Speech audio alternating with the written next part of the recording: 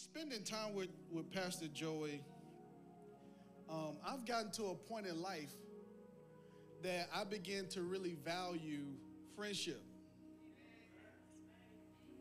You know, some of us, we went through a pandemic, but some of the people that we love didn't make it out. And I lost some of my best friends and family members in the pandemic. So now, when God sends people in my life, I realize He's not just sending a person. Every person that God sends is also a form of provision. and so I, I never try to take the people that God sends in my life and make them familiar because I want to always honor the gifts that God sends into my life. So I'm honored to be here, that you trust me with this assignment. 2 Samuel chapter 4, verse 4. Now I'm going to go ahead and give you a warning. Uh, this is not just a sermon, it's also surgery. Are y'all ready? I was praying on yesterday, God to celebrate nine years, and I looked up what the biblical meaning of nine meant, and I got three meanings of what it meant. The second one is what I feel the Holy Spirit gave me attention to. The first one was the judgment of God. I'm like, okay, all right. Come on, Holy Spirit. You can hear the judgment of God. Like, come on now. but it was the second one that blew my mind. Nine literally means the perfect move of God. And the Holy Spirit showed me, I'm already, I feel like the word of the Lord for this house today is this. Here it is that this nine years doesn't just represent nine years in the natural, it also represents nine months in the spiritual. I don't know if you've ever been pregnant with a dream, ever been pregnant with a vision but I'm speaking that Fresh Church is getting ready to birth what God really put in it. I want to speak to it. All my dreamers, are y'all ready for this word today? Here it is, and it reads, here it is, everybody. Saul's son Jonathan had a son named Mephibosheth, who was crippled as a child. He was five years old when the report came from Jezreel that Saul and Jonathan had been killed in battle.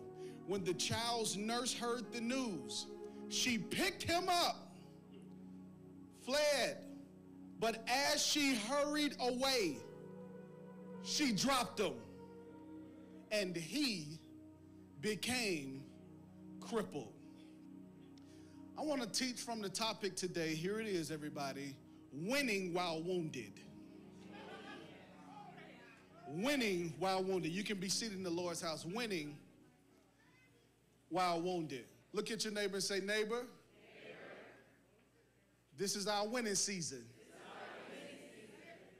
But if this is your winning season, we must learn how to keep winning while wounded.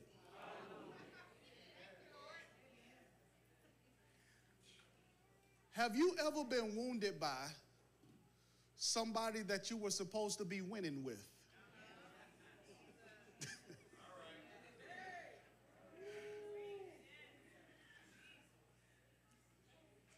Just because everyone in your life has a place does not mean that everyone in your life should be in the same place.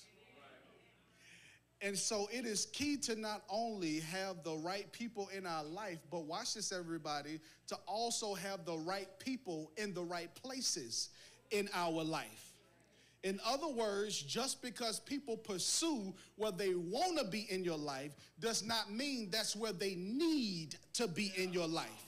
Because different seasons will require different seats. Y'all, I feel the love over here can I say it again? Different seasons will require different seats, which means that some people that may have been in one seat in the past season may not need to be in the same seat in this new season. Do I have anybody in Fresh Church already in this message that's saying, God, give me the discernment to see, watch this, not just the season that you're blessing me with, but the seats that I need to put the right people in. Here it is, everybody. Write this down because just because someone is a good person does not mean that they're good for you. Say it again. I feel my help. Can I say it again for the people in the back and the people in the chat? Just because someone is a good person does not mean that they're good for you. This is what happens even in the beginning. Adam fell not because he ate from a tree that was bad.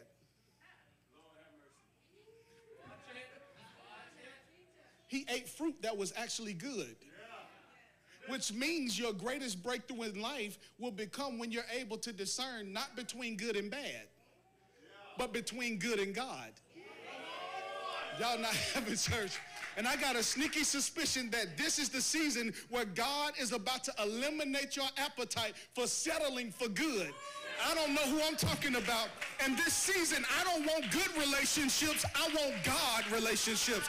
I don't just want good favor. I want God favor. I'm going to give you 30 seconds right now if you're praising God that he's shifting you from good to God.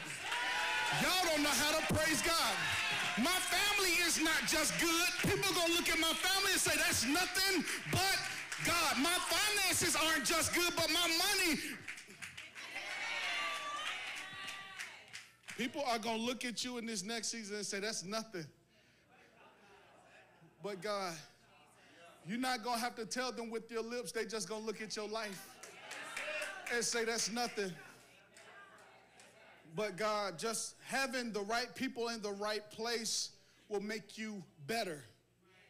But watch this having the right people in the wrong place has the potential to make you bitter.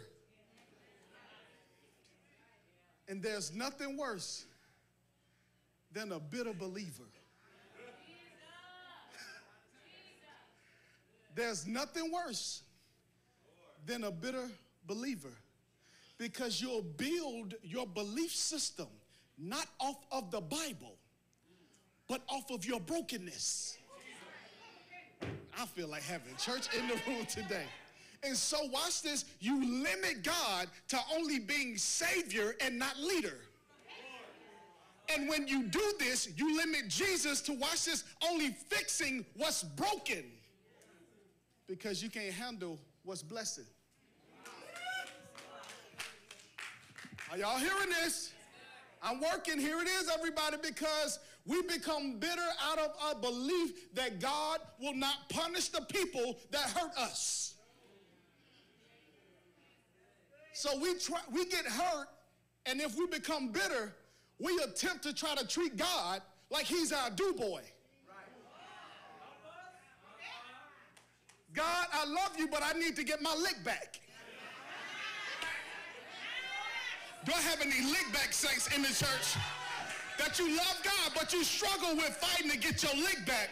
But here it is. Here's why you have to get free from getting your lick back. Getting your lick back is when you allow the person that broke your heart to also break your character. I don't need my lick back. Vengeance is mine. if you be still and allow the Lord to fight your battles. He got hand, y'all not. But, but watch this, everybody. I want you to catch this because we become bitter out of belief that God will not punish the people who hurt us. And since God is not going to intervene how we prefer for him to intervene, we become judge, jury, and executioner to those people, places, and things that hurt us. Watch this. So now we end up focusing on only fighting our enemies when we should be fighting for our destiny.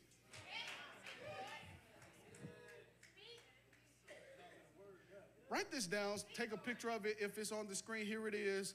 Bitterness is the result of unprocessed anger becoming our primary attitude. Bitterness is the result of unprocessed anger becoming our primary attitude. If you're not careful, it becomes a cycle. That the more you dwell on it, the deeper you get lost in it. And here it is, everybody. I want you to check this out. Hebrews 12 15, it says this Watch out that no bitter root of unbelief rises up among you. Check this out. For whenever it springs up, Many are corrupted by its poison. I'm going to read it again because you don't know when to shout. Many are corrupted by its poison. So bitterness is not about pain. Bitterness is about poison. Pain is when you get bit. Poison is when you become bitter. And some of us, we're shouting because we survived bites. Not realizing that the bite was not about the bite. The bite came to make you bitter. So you're shouting that you survived the pain. And the devil is shouting because he made you poison. Yes, you survived the toxic relationship. That toxic relationship made you bitter. yes, you overcame the trauma. Yes, you're stepping into a new season. And you'll be surprised how many people are praising God with lifted hands with poisoned hearts. You can speak in tongues, but you can't forgive your neighbor.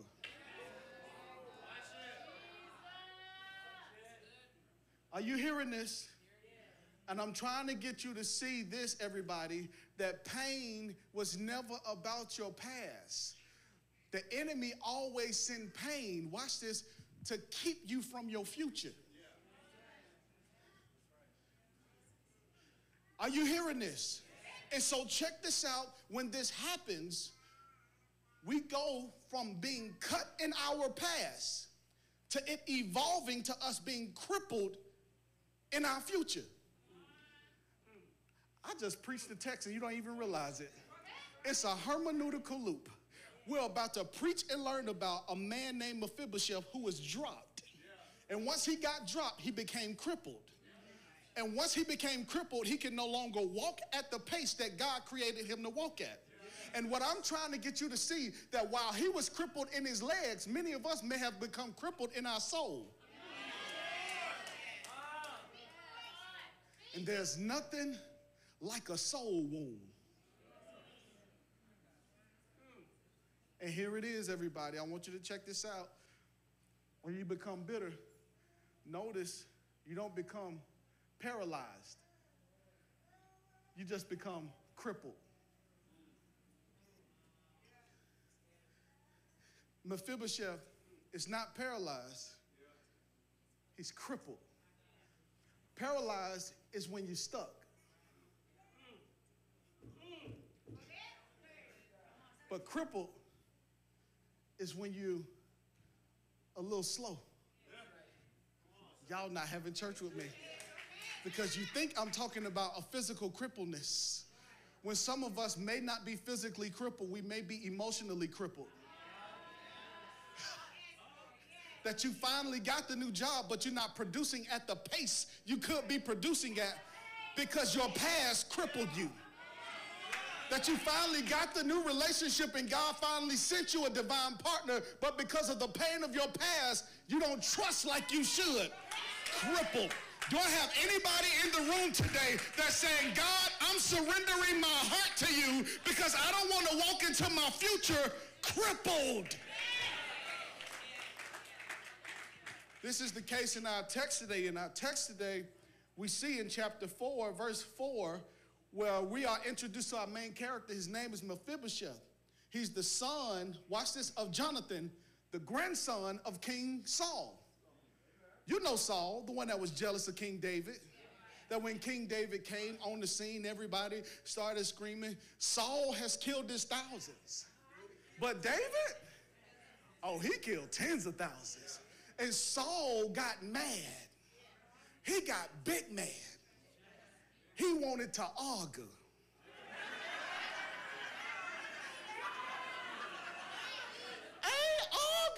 I'm sorry. And so here it is, everybody. I want you to catch this out. He's the grandson of a bitter grandfather. Because whatever is not healed gets handed down. I feel like having church over here. This is why you got to prioritize your healing in this season because you cannot allow the hurt from your past to be passed down in the next generation. I dare you to praise God, not for you. Praise God that what hit you won't hit your children. No, you sitting in here like you're cute. Praise God that your children are blessed. Praise God for your children having a sound mind. Praise God for your children walking in prosperity because what hit me won't hit my children.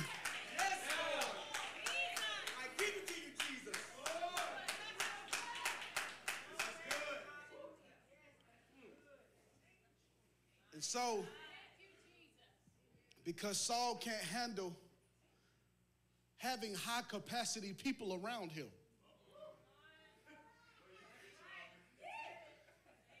Because when you become bitter, one of the fruits of bitterness is insecurity.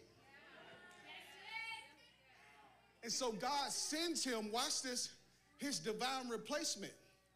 But he sees his divine replacement, watch this, as intimidation, not realizing that David was actually grace. That he said, even though, Saul, I'm firing you, I'm not going to immediately remove you. So I'll send you provision in the form of David to help you do what you can no longer do. What is that? Overcome giants. And so here it is. Because he couldn't handle it, David is now on the other side fighting with Philistine army. You, you don't know when to shout, do you? Because when we meet David, he overcomes a Philistine giant. They sleep over there. I'm going to preach to y'all in a minute.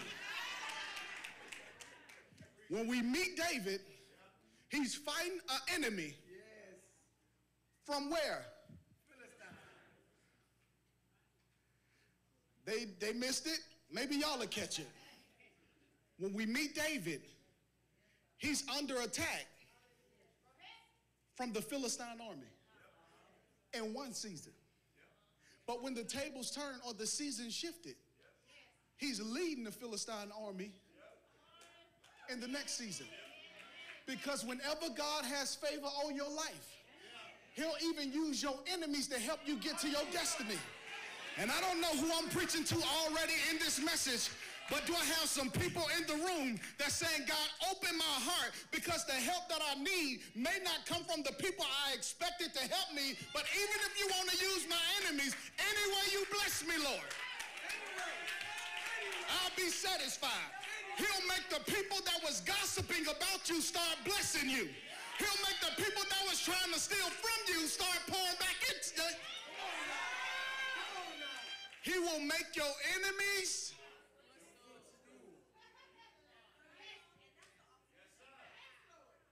And now Mephibosheth's grandfather and father has gotten killed. Look at it. It's in the text in verse 4. They get the news that King Saul and his son Jonathan are dead. Watch this. He's five years old, and his nurse hears the news, picks up Mephibosheth, who's five years old, and takes off running. But while she's running in fear, Yeah, y'all caught it. This is my side right here. While she's running in fear, carrying him, she fumbled him. She dropped. Now, I have four kids, and I've seen all my kids when they were five years old around the age they were five, I was no longer carrying them on my hip.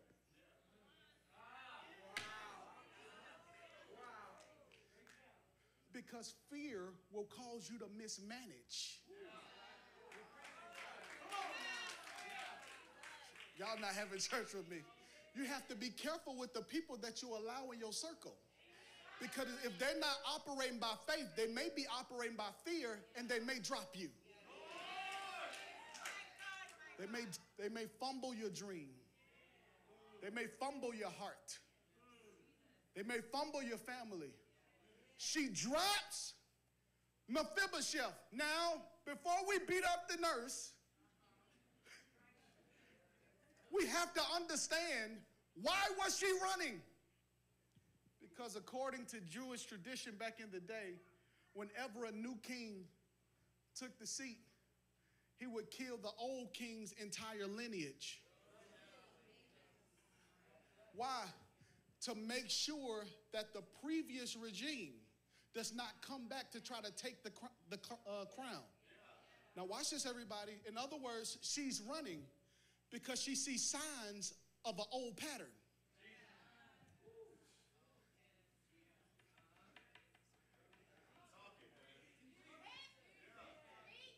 If you know anything about David, he had a covenant with a man named Jonathan. Jonathan had a son named Mephibosheth. Mephibosheth, who just got dropped, is crippled. So she's running from something that looks like it could be like what it usually is in the past. In other words, she's triggered. But be careful when triggers become a trap. Because how people treat you says a lot about them. How you respond says a lot about you. And I don't know who I'm preaching to early on in this message, but do I have anybody in the room today that's saying, God, I need you to help me with how I respond? Y'all, I don't be bothering nobody, but when people bother me, I gotta watch because my hands start moving without my permission sometimes. She's on the run. She's afraid. And some of us have been on the run. So that stuff that took out our parents don't get us. They're on the run because his parents lost. So he literally becomes lame from his parents' losses. And I don't know who I'm preaching to already in this message, but are you on the run trying to make sure that it may have ran in my family until it ran into me? That this is the year I'm breaking generational cycles. That dysfunction may have had my parents and my grandparents, but dysfunction won't have me. That addiction may have ran in my family until it ran into me. That debt may have ran in my family until it ran into me. This is the year, watch this, that I'm reversing every curse. I wonder, do I have some men in here that say I may not have had a father present in my life, but my children will have a present father in their life? Do I have some women in the room today that may have said, I may not have had all the wisdom I need growing up, but I will give the wisdom for those who are coming after me. It may have ran in my family until it ran in to me. She's afraid. Fear drove her to pick him up run away. And she dropped him. She, she dropped him. It's one thing when you hurt yourself.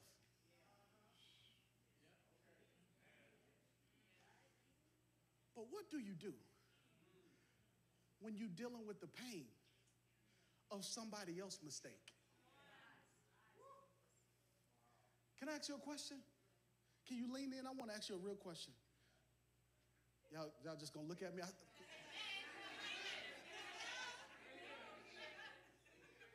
Y'all ready?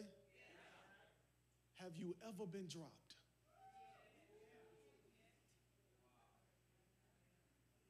See, being dropped is not about peers. He was not dropped by your friend.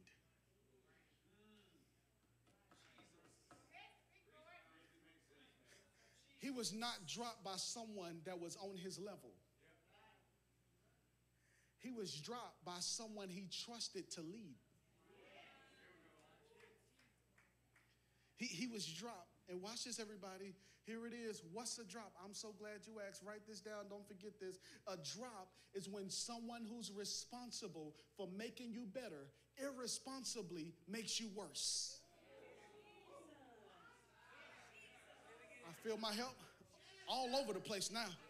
A drop is when someone who's responsible for making you better irresponsibly makes you worse.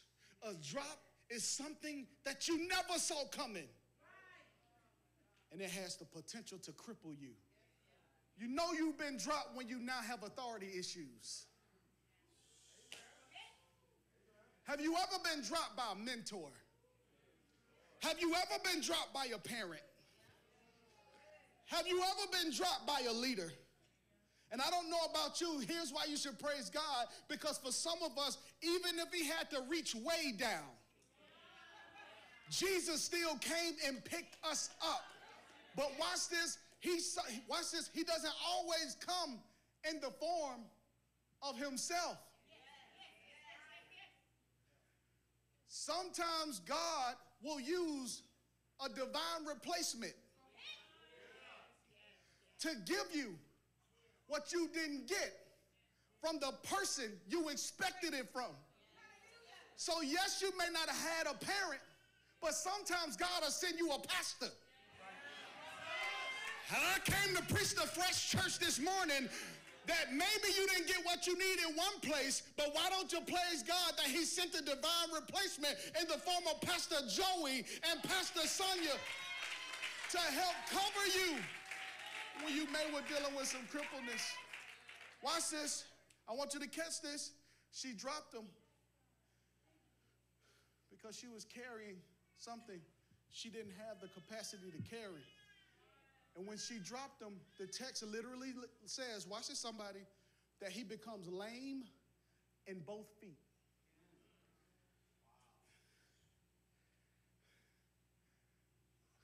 He becomes lame. Where? Okay. He becomes lame. Where? See, you, you don't know when to shout. He becomes lame. Where? See, see, I studied this so I know what's about to happen. I ran around my neighborhood 10 times when I saw what being lame in both feet meant. Because some of us, we've been investing time and energy and where we see the crippleness. But being lame in both feet does not mean you were dropped on your feet. The feet is only a symptom not the source. Literally, to be lame in both feet was a local colloquialism that literally meant he was dropped on his head. Can we have church for at least one minute right here? He broke his feet because he bumped his head. And I don't know who I'm preaching to already in this, in this church today. If you can get your mind out, you can get your feet out. And I wonder, do I have anybody in the room today that saying my feet may be struggling right now, but I'm declaring that my mind is coming out. That I may be in one season, but God is shifting my mind to another season. Maybe this is why the Bible says we walk by faith and not by. I wonder, do I have somebody in the room today that can stand up and just start walking around in your section because my Bible says wherever your feet touches,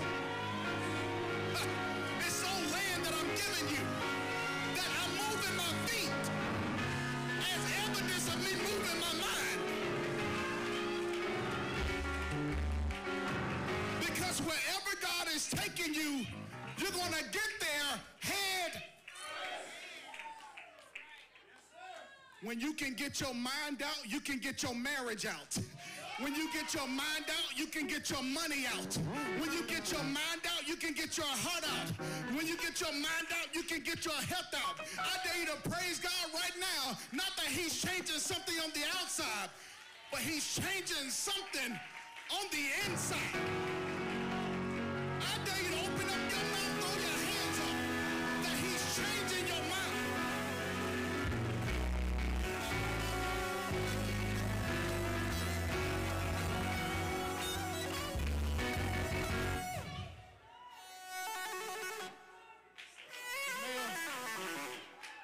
Broken a relationship, but you won't break your mind. What's broken that broke you? He's crippled. His feet not working, so he's wounded. And watch this, be careful with who you trust with your wounds. Because while he's wounded, she carries him to a place called Lodabar. Lo means no. Debar means word.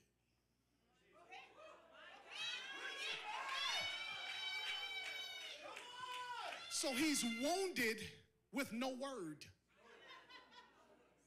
See, life is not about being wounded. Life is about how do you handle your wounds. So he's in a place with no word while he's wounded because the word will turn your wounds into wisdom. The word will turn your wounds into worship. The word will turn your wounds into winning. And I wonder do I have anybody in the room today that's glad that even when you were wounded, you can come here every Sunday and still get you a word? I don't know who I'm preaching to, but somebody shout, I need my word. When I want to give up, I need the word to keep me going. What word do you need? I've never seen the righteous forsaken, nor a seed breaking bread.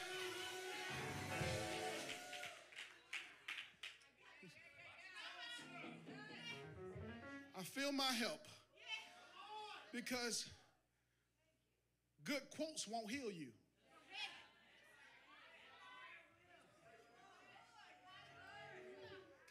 The word is a lamp unto my feet. It's a light unto my path, which means if I have no word when I'm wounded, I'm damaged with no discernment.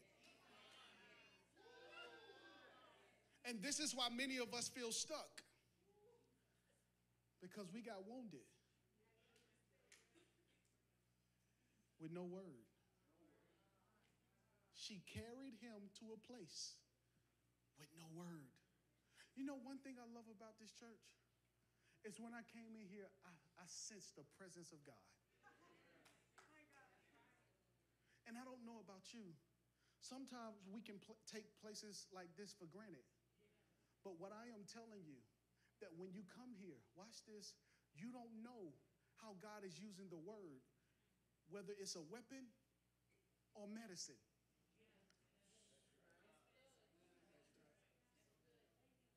And sometimes he'll give you a prescription to put in your cabinet, not for the hurt that you're in right now.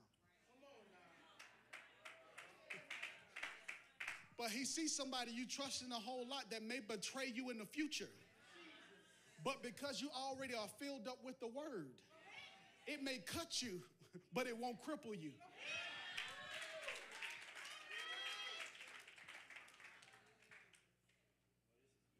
And he says, I'm crippled, I'm in Lodabar.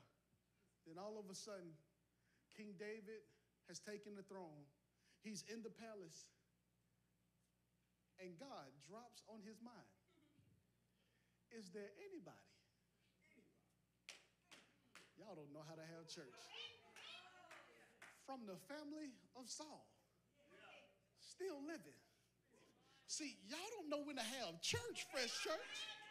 I'm trying to have church. It's nine years, and you don't realize what's happening with David and Mephibosheth is about to happen for you where he's in Lodabar thinking that this is where he will spend the rest of his life, that he will never recover what was lost. God put it on somebody's mind to start asking about you. Because everybody don't have to like you, just the right person. And I wonder, do I have some people in the room today that's praying, God, I pray that you put me on the, on the mind of the right people. Watch this. Somebody says, Saul has a son named Mephibosheth. I think they hide. Well, we know where they are. We got the location. We put the air tag on them. That's for about five toxic people right there. Here it is. He think no one knows where he is.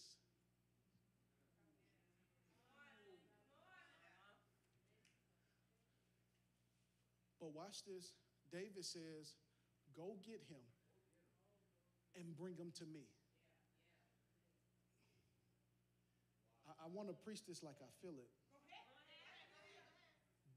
David is a leader who has a vision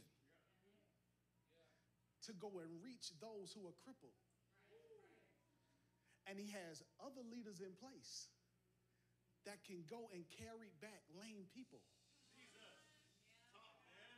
and bring them to the table.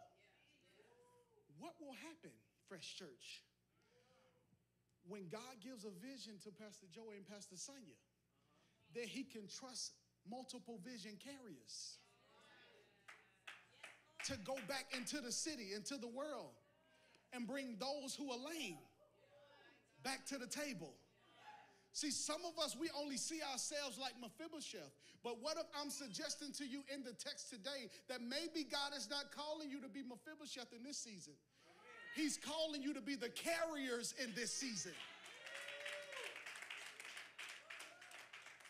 Because what do you do when you have a vision but it's being aborted by lack? But what if what you make happen for God's house, He'll make happen for your house? Y'all not having church for me. Uh oh. Who was Mephibosheth on the run from? David's men. Who's coming back to carry him? Because God will take what was meant to kill you in one season to carry you in the next season. In other words, what the enemy meant for evil, God is getting ready to turn it around for your good. I dare you to praise God right now for the turnaround.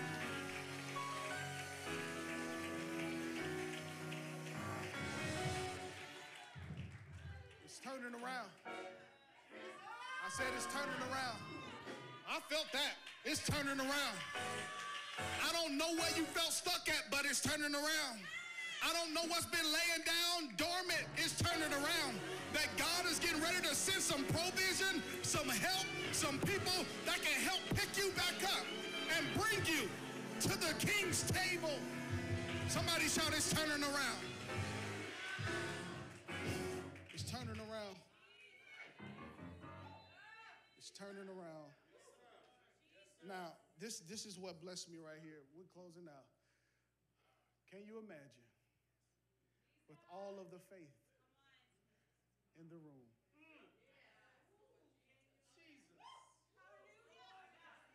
What the Lord can do.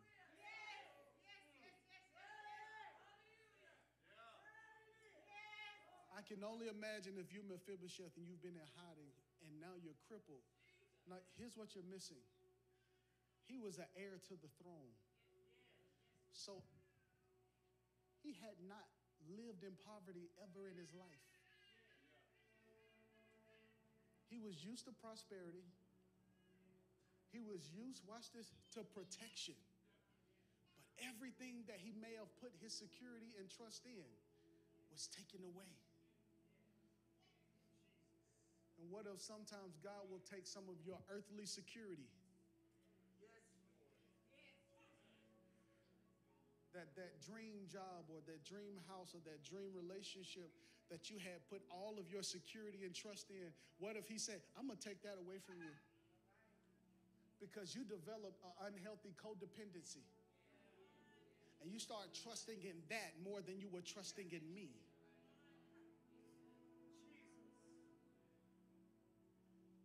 He says, Bring them to me. Now, here's what, here's what confused me in the text.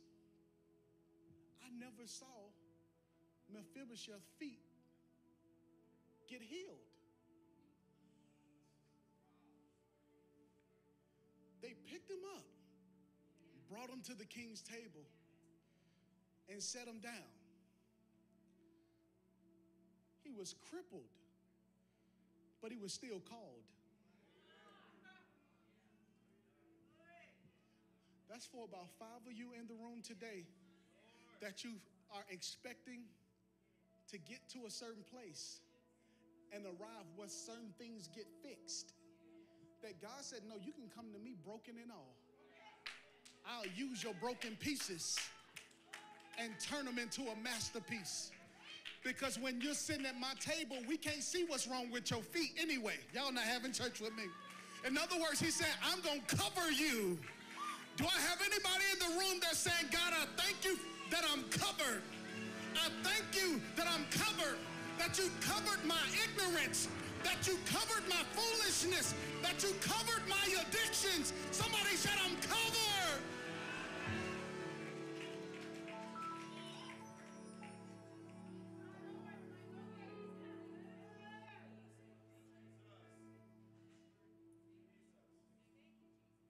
Sitting here today. When was the last time you thanked God that He didn't allow you to be exposed? He said, I'll cover you. You crippled, but you chosen. And when you're sitting at the table, they can't tell the difference between you and kings.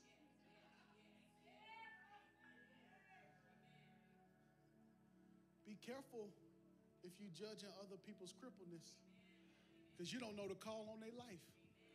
Watch this because you can't heal what you don't feel. And for some of you, you have been hiding and silent about some of the stuff that God brought you out of. When God is saying, That's the very thing that I want to use to reach the people that I sent to your life. Want you to hear me right here, everybody. They brought him back to the king's table. And God will use what wounded you in the past to help you win in the future. They were on the run from David's men, but now David's men are carrying him back to the king's table. I'm gonna give you three marching orders, Fresh Church. I want you to write this down, and I believe this is the word or marching orders for you for this next season. Because if you're gonna win while wounded, number one, you're gonna have to release your entitlement. Release your entitlement. Because oftentimes we think we're owed an explanation. God, why me? Why this? Why that? I deserve better than this. But sometimes it's hard for us to win because we focus more on what we think we deserve.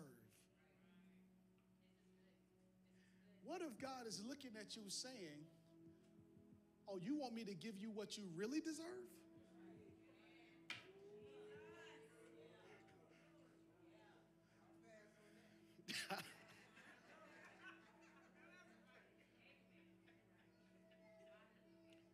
it's entitlement, it's spiritual cancer.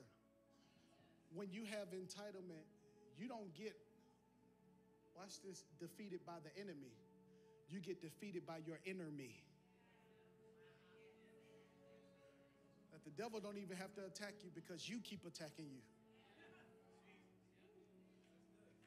When most people are trying to fight giants in the land, God is saying, No, I need you to overcome the giants in your heart. I am telling you right now, this church is pregnant.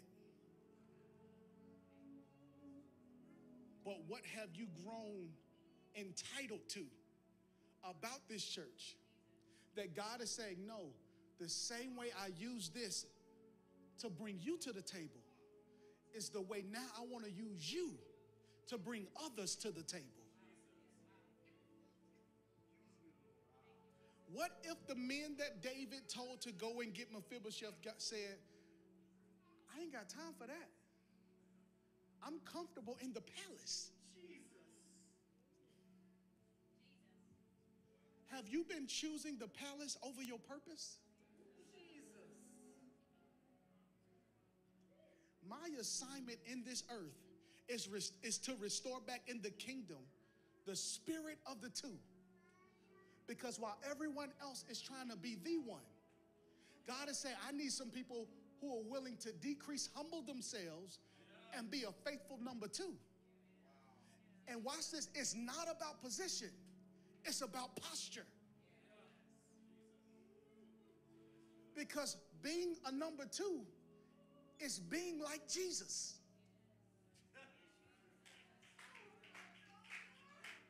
Jesus said, I only see, do what I see the Father. For some of you right now, that means that you may have to release your preferences. That you saying, God, forgive me for being a slave to what I prefer. This is the final test that Jesus faced before the cross in the Garden of Gethsemane his preference. He looked in the cup and said, Is there another way? I don't prefer this. Nevertheless, you got to have a nevertheless in your spirit. Not my will, but your will be done. And this is why they couldn't kill him on the cross because he killed himself in the garden. You can't kill a dead person. And I wonder, do I have some people in the room today that say, Lord, crucify my flesh?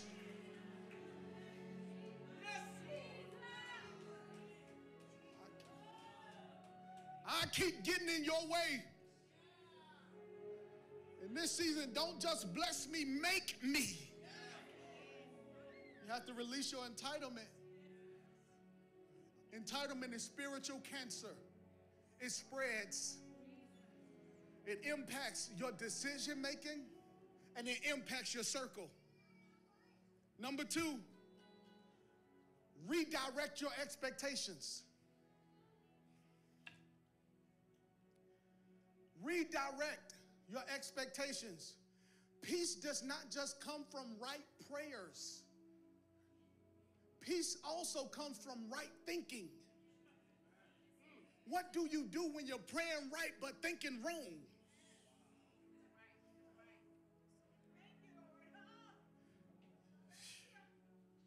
See, I'm telling you right now, this is going to change your experience with God.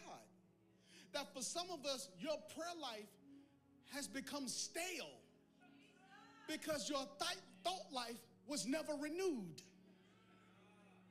So you would seek God for mind relief, not mind renewal. So when you go into the presence of God to pray, you really were going to God to escape from life. When God said, No, you come to me to be equipped for life. That I'm not going to change your situation, I'm going to change the way you see it in my presence. And so now when you go back into your life, you see it the way I see it because my thoughts are higher than your thoughts. My ways are higher than. And so many people are struggling because they're expecting the right things from the wrong people.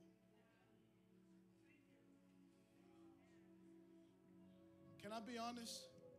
I've been in ministry now for a while. And one of the things that God did for me over the past 12 years was walk me through some emotional, mental healing that I had never seen in the generation before me. That there's this bridge that He gave me revelation for between therapy and theology. And I realized in our community with church, it also has to act as a surrogate parent. Because we're not just having to be discipled from where we are, we also have to be discipled from the absence of those who didn't give us what we needed before we got here. And so we come and we shout, We're blessed, but don't know how to deal with our blind spots. And so I'm, I'm saying all that to say this expecting the right things from the wrong people. In other words, that sometimes I can come and connect in church and expect the church to be heaven. That nobody has issues, nobody can make mistakes. And the moment I'm offended, I got church hurt. When the question is, no, did I ever heal from what hurt me before I even got to this? Because sometimes we call that hurt, which is really correction.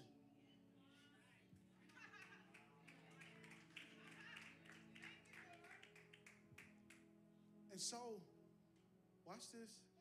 We have to redirect our expectations because you can never experience what, do, what you don't have the faith to expect. When you walked in here this morning, what were you expecting? Who came to Fresh Church this morning with expectation? Who came here believing that God can do exceedingly and abundantly above all you can ever ask, think, dream, or imagine? Who's expecting God to do something that will blow your mind?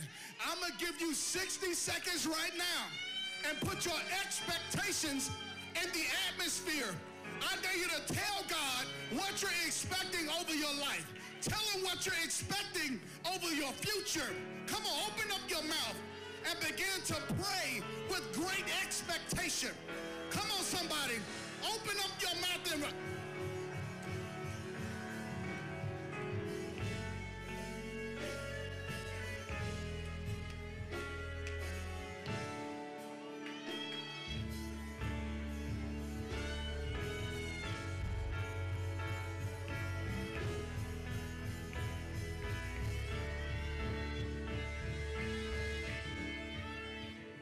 Can you stand, can you stand to your feet all over the building? I'm closing out right here.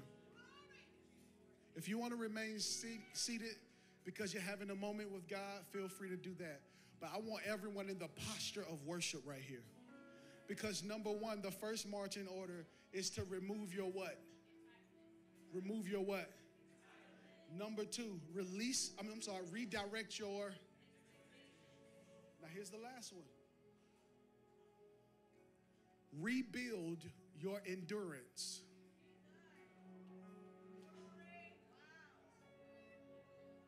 I'm going to speak this over your pastors, and I'm also speaking it to you. God is giving you a new oil for this new season. That sounds simple to you, but what I am telling you that most people burn out and don't finish the race because they keep going into new seasons with old oil. I speak fresh oil over your life. I speak fresh oil over this church. And you don't know when to pray and intercede for your leaders. It's the anointing that destroys the yoke. If you can't pray right now, pray for your leaders right now. God, I say thank you that you're anointing their hands to prosper, anointing their hearts to lead, anointing their ears to hear, anointing their eyes to see. Wherever their feet touches, new oil, new seasons.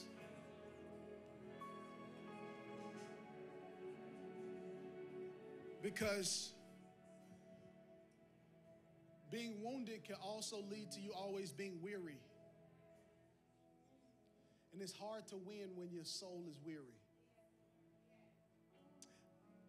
You don't know what these first nine years took out of them. And we're praying that God pour back into you double. Yes, Lord. 30, 60, 100 fold everything you've poured out. And I, as I was praying over this message, I was like, Holy Spirit, help me to see why this text. And I saw it, I believe, in verse 7, 2 Samuel 9, verse 7. It says, Don't be afraid. Mephibosheth finally gets in the palace. He says, Don't be afraid, David said to him. I will surely show you kindness for the sake of your father Jonathan. Y'all ready? Are y'all ready? Are y'all ready? Are y'all ready? He says, I will restore to you all the land that belonged to your grandfather Saul. And you will always eat at my table. And I don't know where this came from, but I believe the Holy Spirit has land Yes, Lord. with your name on it. But I'm coming against past wounds that limited your vision to believe for it. I come against the myth that because real estate is high in this region, that you will limit God. I believe that God is about to do exceedingly and abundantly, that He's releasing property, real estate, and land for the vision that He's placed in your heart. Generations will be blessed because of you.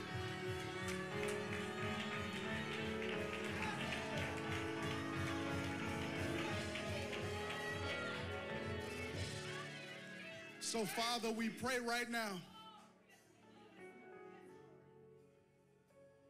Like the Father in the Bible who said, I do believe, but help my unbelief. We confront the unbelief in our heart. God, help us to trust in you fully. I declare, God, that oftentimes we pray for a corporate anointing. That's already here. God, I pray a special prayer over this house that you're releasing the gift of faith over this church. That this is a church that doesn't only believe in Jesus, but also believes like Jesus. That this is a church that's not like Peter stepping out of the boat, walking on water, but this is the church that will follow the example of Jesus, that's standing on the water, calling others out of the boat. I declare a greater measure of faith. I come against playing it safe. I come against the spirit of fear. God, I say thank you that the vision is being enlarged and expanded. I, I thank you that leaders are being raised up. I pray a special prayer, Holy Spirit. I feel you. That you're releasing a heart of generosity over this church because this is a safe haven that believers can trust. So, God, I say thank you that when our hearts are healed, we begin to trust you radically like never before. God, I say thank you that you're opening the floodgates of heaven, pouring out a blessing so much that we don't have enough room to receive it. I declare cancer will be healed in this church, tumors will be dissipated in this church. Supernatural miracles, signs, and wonders will happen through this ministry. We give you honor, we give you glory, we give you praise. In Jesus' name we pray. I dare you to give God praise